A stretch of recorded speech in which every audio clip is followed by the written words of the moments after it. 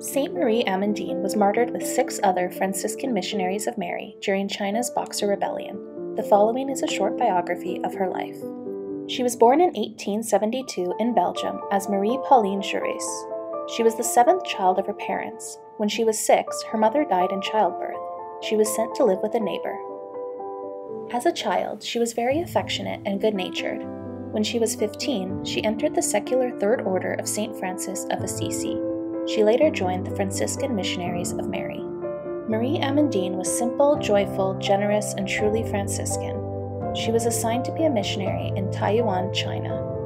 On her way to China, her boat passed through Sri Lanka, where her sister was working as a missionary. When she left her sister, she said, Goodbye until heaven.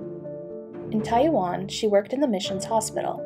She treated patients with friendliness and believed in the healing power of laughter, which led the Chinese to nickname her the Laughing Foreigner. In July 1900, the Boxer Rebellion consumed China.